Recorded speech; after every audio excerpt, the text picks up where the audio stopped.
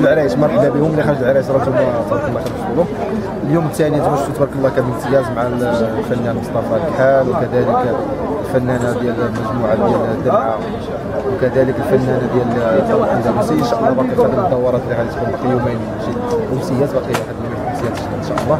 اللي غادي تعرف حضور السبعيني وسعيدة شرف من التيميه كذلك غدا كاين غدا اسامه فاضل بالإضافة إلى مهدي الحاجب كنتمنوا أن السهرة تستمروا بهذا تبارك الله هذا التنظيم الرائع ديال الجمهور كينظم راسو براسو ما حتى شي يعني شي واحد نظموا تبارك الله الأمور كانت في أجواء ممتعة.